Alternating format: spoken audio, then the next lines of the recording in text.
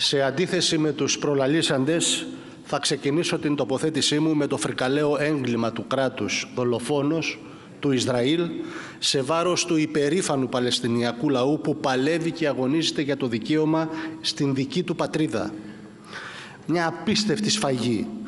Πάνω από 2.360 νεκρά παιδιά από τους βομβαρδισμούς του Ισραήλ και συνολικά πάνω από 6.000 νεκρούς στη λωρίδα της Γάζας, στο μεγαλύτερο στρατόπεδο συγκέντρωσης του κόσμου από τις 7 του Οκτώβρη μέχρι και σήμερα, με ανηλεείς βομβαρδισμούς των Ισραηλινών, κάνοντας το βίο αβίωτο στη λωρίδα της Γάζας. Και την ίδια στιγμή ο κινησμός των δηλώσεων του Πρωθυπουργού για το δικαίωμα του Ισραήλ στην αυτοάμυνα το οποίο δήθεν πρέπει να ασκεί χωρίς μεγάλο ανθρωπιστικό κόστος. Δηλώσεις που όχι μόνο είναι ανιστόρητες, αλλά και εξοργιστικές. Ξεπλένουν όλα τα διαχρονικά εγκλήματα του κράτους του Ισραήλ απέναντι στον Παλαιστινιακό λαό. Ναι, έχετε χώσει τη χώρα μέχρι τα μπούνια στους αμερικανονατοικές επιχειρήσεις στήριξης του Ισραήλ που μακελεύει το Παλαιστινιακό λαό με τη σύμφωνη γνώμη και των υπολείπων κομμάτων που δεν ψελίζουν απολύτως τίποτα το στοιχειώδες την αναγνώριση του Παλαιστινιακού κράτους στη βάση της ομόφωνης απόφασης του Ελληνικού Κοινοβουλίου που όλοι μαζί εδώ μέσα ψηφίσαμε. Εφαρμόστε την λοιπόν. Το επόμενο βήμα της εμπλοκής της χώρας στο μακελιό του Παλαιστινιακού λαού είναι η μετατροπή της βάσης της Ελευσίνας σε ορμητήριο των Αμερικανατοικών. Η βάση του Σούδας έχει ήδη μπουκάρει με την έντονη κινητικότητα από μεταγωγικά, υπτάμενα τάγκερ, κατασκοπευτικά αεροσκάφη των Ηνωμένων Πολιτειών. Μια χώρα ξέφραγο αμπέλη ένα πλωτό αεροπλανοφόρο πατώντας πάνω στην κατάπτυση τη συμφωνία για τις βάσεις με τη σύμφωνη γνώμη και τη δική σας δηλαδή του ΣΥΡΙΖΑ, του ΠΑΣΟ, των άλλων κομμάτων με χαρακτηριστική την αφωνία επί του προκειμένου. Το λέμε καθαρά ως ΚΚΕ. Ούτε γη, ούτε νερό στους δολοφόνους των λαών. Και αυτό ακούγεται από άκρης άκρη σε όλη τη χώρα, σε ολόκληρο τον κόσμο. Αυτό θα ακουστεί και σήμερα στις 7.30 το απόγευμα στην πλατεία Ευμορπηδών στην Ελευσίνα, στη μεγάλη συγκέντρωση συνδικάτων και φορέων της Αττικής. Σε όλη τη χώρα θα, θα ακουστεί μυριόστομο το σύνθημα «Λευτεριά στην Παλαιστίνη». Εκφράζουμε ως Κομμουνιστικό Κόμμα Ελλάδας από αυτό το βήμα για άλλη μία φορά την αλληλεγγύη μας στον Παλαιστινιακό λαό, την αλληλεγγύη μας και στον Ισραηλινό λαό, που και αυτός υποφέρει από το ίδιο το κράτος του Ισραήλ, την αντιδραστική κυβέρνηση Νετανιάχου, που τον σέρνει συνεχώς σε πολεμικές συγκρούσεις, σε σφαγές ενάντια σε γειτονικούς λαούς και γίνεται έτσι και ο ίδιος θύμα μιας συνολικής βάρβαρης πολιτικής αναγνωρίζουμε και παλεύουμε για το δικαίωμα του Παλαιστινιακού λαού για Παλαιστίνη ελεύθερη, ανεξάρτητη, στα σύνορα του 1967 με πρωτεύουσα την Ανατολική Ιερουσαλήμ, με επιστροφή όλων των Παλαιστινίων προσφύγων στις αιστείες τους, με βάση τις σχετικές αποφάσεις του ΟΗΕ, με άμεση απελευθέρωση όλων των Παλαιστινίων και άλλων πολιτικών κρατουμένων που κρατούνται στις Ισραηλινές φυλακές, να αποσυρθεί η φρεγάτα ψαρά από την περιοχή και να μην αντικατασταθεί από κανένα άλλο πολεμικό πλοίο. Να μην γίνει το αεροδρόμιο της Ελευσίνας πολεμικό οριμητήριο των Ατοικών στη Μέση Ανατολή. Να κλείσουν τώρα όλες οι ξένες βάσεις. Να πάυσει κάθε διευκόλυνση προς τις Ηνωμένες Πολιτείες και το Ισραήλ. Να σταματήσει κάθε οικονομική, πολιτική, στρατιωτική συνεργασία με το κράτος δολοφόνο του Ισραήλ και να προχωρήσει η αναγνώριση του Παλαιστινιακού κράτους στη βάση της ομόφωνης απόφασης του Ελληνικού Κοινοβουλίου. Κυρίες και κύριοι, περνώντας στο νομοσχέδιο, ο τουρισμός είναι η ατμομηχανή της ελληνικής οικονομίας. Ο τουρισμός είναι εθνική μας υπόθεση. Ο τουρισμός αποτελεί ένα σημαντικό πυλώνα ανάπτυξης που συμβάλλει καθοριστικά στην οικονομική ανάπτυξη κάθε χώρας.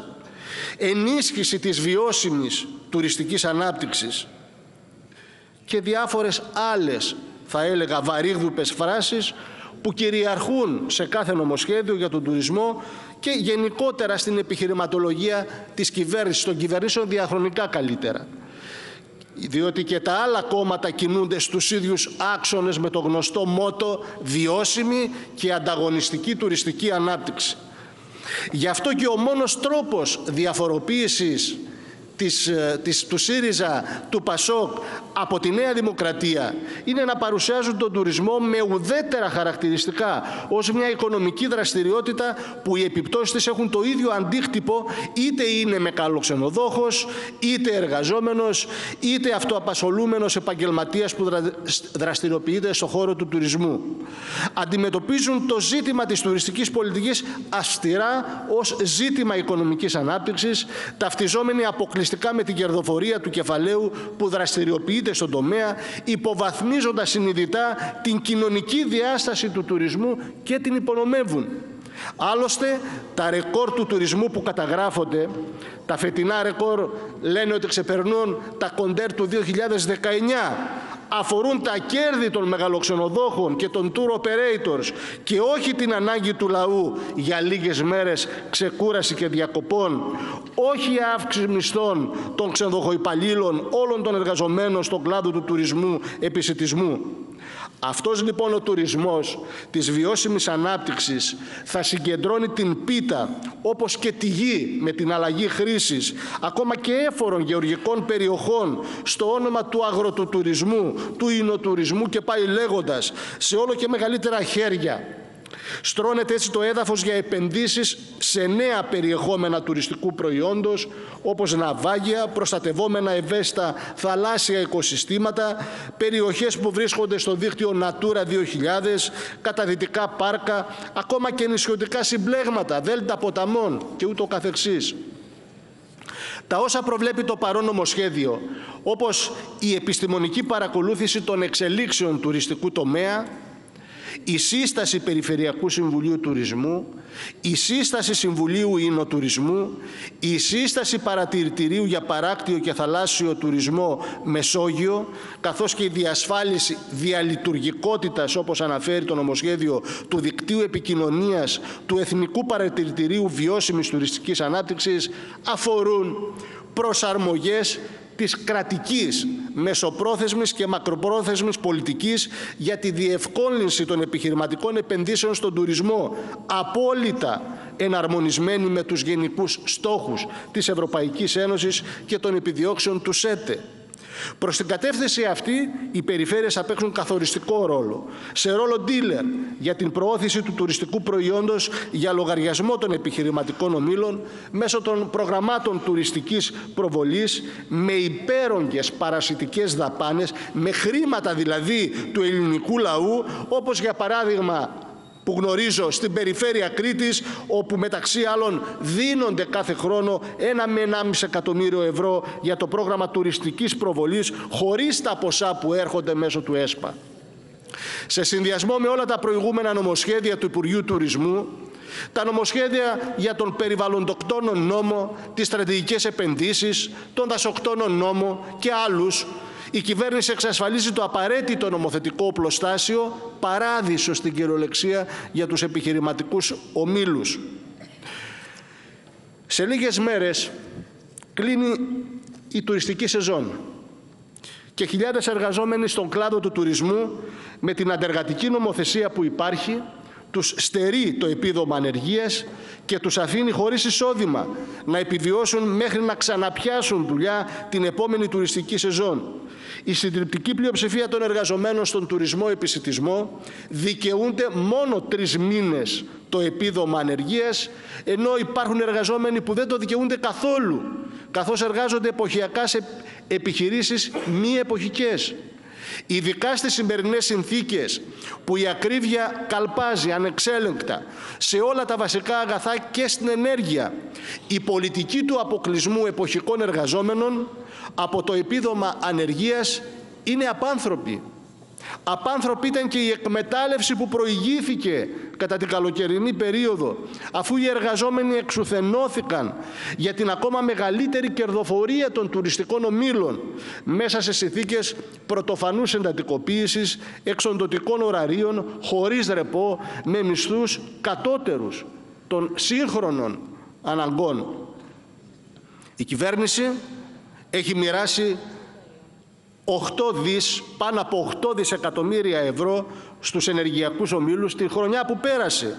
Με τη μορφή επιδοτήσεων στους λογαριασμούς, το ίδιο χρονικό διάστημα που οι άνεργοι του τουρισμού παίρνουν αυτό το πενιχρό επίδομα ανεργίας ή έχουν απορριφθεί τελείως και καταδικάζονται στην πείνα από νόμους προσαρμοσμένους στα δημοσιονομικά περιθώρια, στα όρια των αντοχών, όπως μας λέτε κάθε φορά. Τι θα κάνετε για να δοθεί αυτό το επίδομα χωρίς όρους και προϋποθέσεις σε όλους τους εποχικά εργαζόμενους στο ύψος των 600 ευρώ για όλο το διάστημα της ανεργίας τους μέχρι να αρχίσουν ξανά να εργάζονται; Αυτό είναι το αίτημά τους και πρέπει να δώσετε απάντηση. Απορείτε για την έλλειψη εργατικών χεριών στον κλάδο και την ίδια στιγμή καλείται τους εργαζόμενους να δουλεύουν με όρους εργασιακού απαρχάιν Γι' αυτό υπάρχει η έλλειψη εργατικών χεριών στις ξενοδοχειακές μονάδες.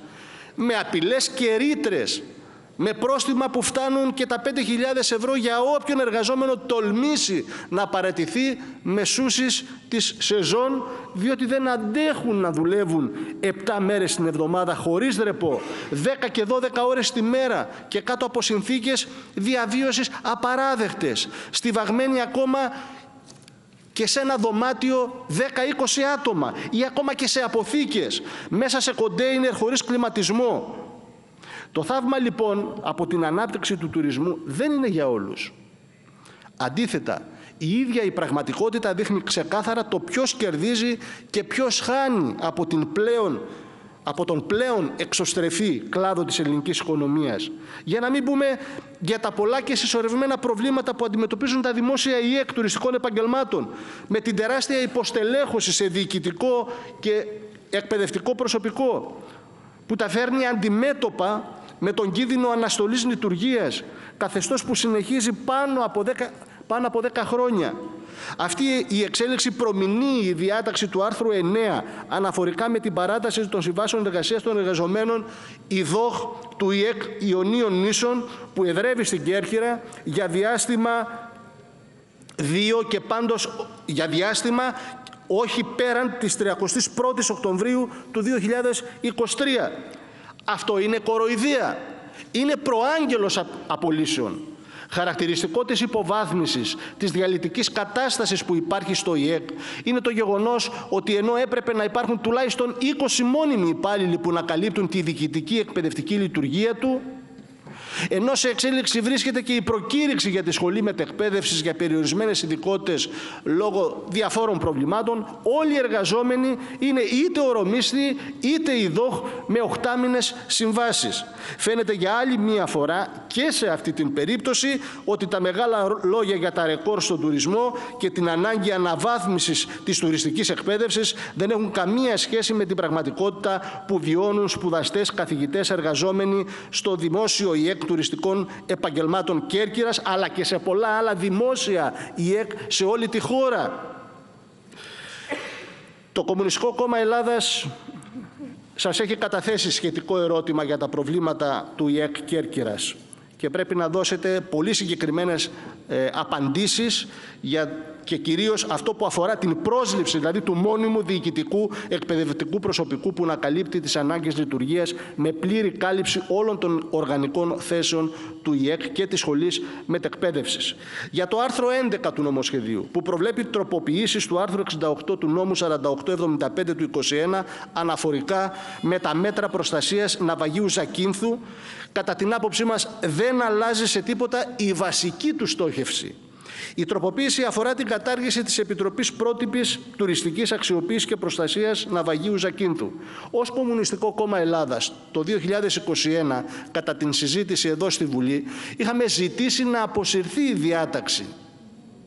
Η, η, η ουσία, εν πάση περιπτώσει, είναι ότι με ή χωρίς Επιτροπή πρότυπη, πρότυπης τουριστικής αξιοποίησης, οι διατάξεις του νόμου συνεχίζουν να υφίστανται και να εξυπηρετούν τις απαιτήσεις των επιχειρηματικών ομίλων. Απλά δεν έχει λόγο ύπαρξης η εν λόγω επιτροπή, έχει καταληθεί ο ρόλος της λόγω των αντικρουόμενων επιχειρηματικών συμφερόντων τα οποία και υπηρετεί, τα οποία υπηρετεί η κυβέρνηση και μάλιστα σε ένα ρόλο διαιτητή μεταξύ αυτών των αντικρουόμενων συμφερόντων. Είναι προκλητικό να βλέπουμε να ισοπεδώνονται ολόκληρα βουνά για να χτιστούν κτίρια, να φτιάχνονται πολυτελή ξενοδοχεία, τεράστιες τουριστικές μονάδες και σε παραλίες όπως αυτή του Ναυαγίου που κινδυνεύουν άνθρωποι από κατολιστήσεις. Ιδιαίτερα στη Ζάκυνθο, που χαρακτηρίζεται ως σεισμογενή περιοχή, με τους σεισμούς να είναι συνηθισμένο φαινόμενο για τους κατοίκους, έχει μεγαλύτερη σημασία σε αυτά τα φυσικά αξιοθέατα να πάρθουν τα απαιτούμενα μέτρα προστασίας για την ασφάλεια των ανθρώπων που τα επισκέπτονται. Η διαχείριση των αιγιαλών, όπως και του ναυαγίου, πρέπει να είναι κρατική μέσω των αρμόδιων υπηρεσιών, με την εξασφάλιση όμως όλων των προϋποθέσεων, χρηματοδότηση, μέσα, υποδομές και άλλες προϋποθέσεις, παράλληλα να εξασφαλίζεται η προστασία και η ασφάλεια κατοίκων και επισκεπτών. Και τέλος, για το άρθρο 12, για την κατάργηση της ανώνυμης εταιρείας Ιαματικές Πηγές Ελλάδας. Είχαμε εκφράσει επίσης θέση το 2021 όταν συζητιόταν το σχετικό νομοσχέδιο του Υπουργείου του Τουρισμού λέγοντας ότι η σύσταση αυτής της ανώνυμης εταιρείας έχει στόχο να παραδώσει στους μεγάλους επιχειρηματικούς ομίλους του τουρισμού προς αξιοποίηση εκτός από δασικές και ορεινές εκτάσεις παραλίες και τις ιαματικές πηγές της χώρας εμπλέκοντας και τους οργανισμούς τοπικής αυτοδιοίκησης. Γι' αυτό είχαμε ζητήσει και σε αυτή την περίπτωση την απόσυρση αυτής της διάταξης. Η παρούσα ρύθμιση προβλέπει λύση και καθάριση της ιαματικές πηγές Ελλάδας ΑΕ. Όπως αναφέρει η αιτιολογική έκθεση της παρούσας ρύθμισης, δεν απέδωσε τα προσδοκόμενα αποτελέσματα και μπορεί το αντικείμενό της να καλυφθεί στο πλαίσιο των οργανικών μονάδων του Υπουργείου Τουρισμού, όπως προβλέπει και σχετικό προεδρικό διάταγμα. Κατά την άποψή μας δεν αλλάζει κάτι επίσης στη βασική στόχευση για επιχειρηματική εκμετάλλευση ή την παραχώρησή τους για την βέλτιστη αξιοποίησή τους όπως συνηθίζει η κυβέρνηση να μας λέει. Προφανώς η κυβέρνηση επιλέγει τη μέθοδο της απευθείας εποπτείας της παραπέρα εμπορευματοποίησης της γης με τη διαμόρφωση ενός νομοθετικού πλαισίου πιο ευνοϊκού, πιο γρήγορου, χωρίς εμπόδια για την υλοποίηση των επιχειρηματικών ε, ομίλων, σχεδίων. Με βάση όλα τα παραπάνω, το Κομμουνιστικό Κόμμα Ελλάδας καταψηφίζει επί της αρχής το συγκεκριμένο νομοσχέδιο. Ευχαριστώ κύριε Πρόεδρε.